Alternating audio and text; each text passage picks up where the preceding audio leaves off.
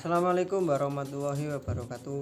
Halo teman-teman kembali lagi bersama saya di channel Santiat Oke pada video kali ini ya admin akan memberikan tutorial yaitu cara memotong cutter yang sudah ujungnya sudah tumpul dan tidak bisa dipakai lagi.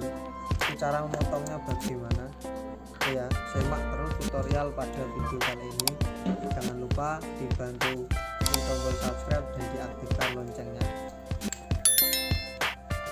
Ya langsung saja ke tutorialnya cara memotong pimes atau cutter yang sudah tidak tajam lagi. Di sini ada fungsinya sendiri ya di cutter ini tidak tidak perlu membawa tang untuk memotongnya pakai tang untuk mematahkannya ini.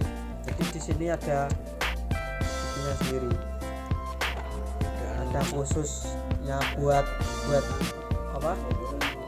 Buat motong ya. Di bagian tutupnya ini tutup yang belakang. Benar. Ya di bagian ini. Belakang tutup yang belakang ini kan ada garisnya. Nah ini fungsinya untuk dilepas ya dilepas. Fungsinya untuk mematahkan ini.